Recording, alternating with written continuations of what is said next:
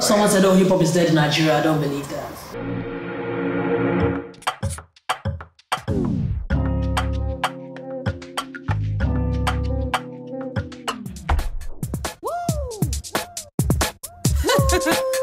Here we go again.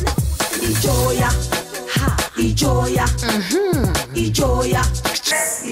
Weird MC, and I'm here on the 234 Nostalgia series with Kanaal, and I'm going to be talking about my song, Ijoya Lori Gongo, Eshama. I, I actually started out with a group called The Weirdos. I was one of the lead vocalists, one of the lead rappers. We were five in number. We used to go around, you know, uh, polytechnics, universities, just performing, just doing our thing. We'd do rap, uh, we'd do songs like Cameo, Five Star, you know, Amazing, Bobby Brown, New Edition. And then at, some point in time, I, I, I kind of figured out it would start to take it to the next level. So I decided to go solo. I felt like the others not, didn't really want to do it professionally. So I just cut out and I took on the name Weird MC. I'm peculiar. I'm different. I'm unique. I'm fearfully and wonderfully made. Wow. Ijoya started just with the bass line. Just one afternoon I was messing about. Um, because I was touring with a, a collective called the Shrine Sound System, I started to experience new music forms, you know, drum and bass, the garage sound, dance, the Ayia Napa sound. So I started to get really, really influenced by listening to a lot of that. Ladies and gentlemen, put your hands together and welcome Weird MC.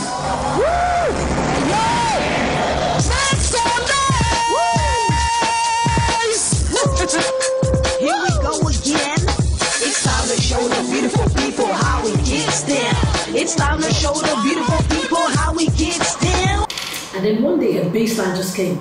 Ba-ba-da, ba-ba-da, ba-da, ba-da, ba-da. And I just started humming Ijoya, Ijoya, Awama, Ijoya. I left it like that. I think like a month after, a sub hook came. You know, because I noticed that people would just do songs with ma- major hooks, but they didn't have sub hooks. So I, I was thinking of a sub hook. So the lyrics really gone. Really gone came. And I, I had this vision where I wanted the song to sound, the way what I wanted. I wanted like a marriage of Africa and the West. So we had this crazy bouncy beat going on, and I called up my friend Ion. He's a talking drum. I said, Ion, we need to listen to this. I'm going to come up with talking drums. on this." Wọ́n ní wọ́n ti tán sórí ti gbòòrò, àwa la ní jó, àwa la ní flow. Lyrics lórí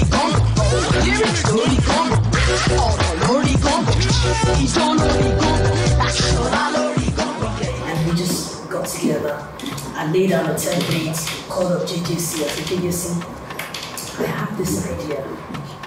I don't know if you guys remember the Afropean, you know, um, collective. They had JJC on the 419 squad.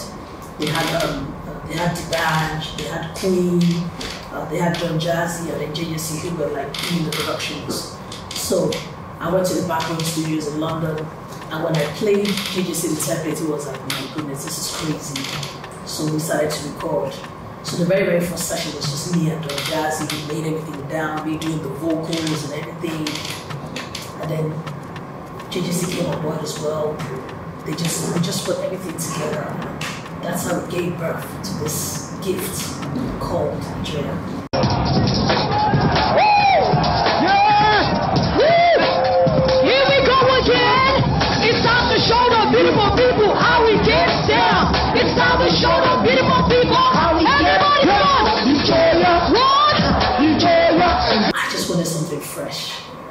Something about me. I don't like I don't like to sound like whatever has been done. I always like I just believe that you should always think like there's no box. So that was my that was my heart going into the DJ song. I was like, I do not need to sound like anything out there. I, was, I remember I was telling my brother, but I was like, yes, it sounded fresh already. Then we started to put down the verses, the verses. He would throw in some things, put this in, put that there, and then that was it. And at the time, I was listening to a lot of Nelly, you know, those kind of guys, you know, and that that so I sort of like uh, that bug as well. I said, you know what, I'm not going to do a dry rap. It's going to be melodic. It's going to be sing along. It's, it's it's going to be loaded with hooks, but still, it's going to be like constructed. And I said, I'm grateful. Well, at that, at that time of my life, actually, I was um, I was already thinking about actually quitting music. I didn't want to do it anymore.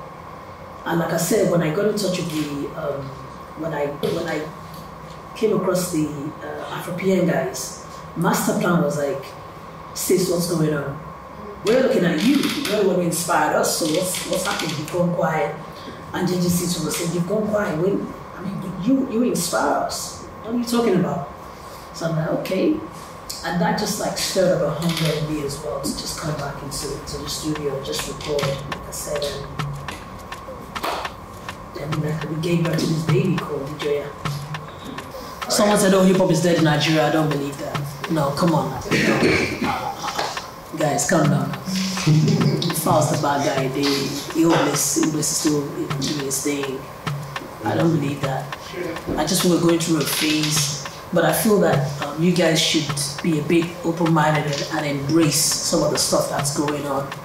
And it doesn't necessarily mean that you're crossing over, you're selling out per se. Just be experimental in your approach to how you put out the music. I've always believed in that. Be be experimental, you know. You, and then you must be able to adapt as well. Of course, without compromising in a sense, I guess. We're even cooking right now. We're cooking now. There's some stuff, there's some stuff, there's some bits and pieces even on my Instagram page. Yes, yes. Oh, Hip hop afro, Umbaro, we get a show na different category.